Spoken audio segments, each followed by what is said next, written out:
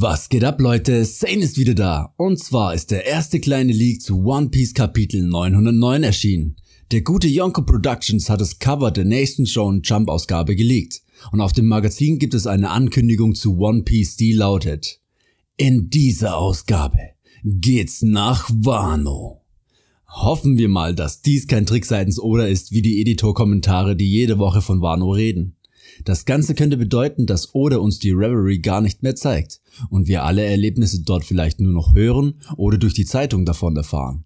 Schade, eigentlich fand ich den Reverie Arc bisher ganz spannend, aber natürlich freue ich mich auch, wenn es nun endlich nach Wano geht. Was haltet ihr von dieser Ankündigung? Schreibt eure Meinung in die Kommentare und wenn euch das Video gefallen hat, lasst einen Daumen nach oben oder ein Abonnement da, würde mich auf jeden Fall freuen und ich hoffe wir sehen uns auch beim nächsten One Piece Video wieder. Bis dahin wünsche ich euch viel Spaß und haut rein. Ciao.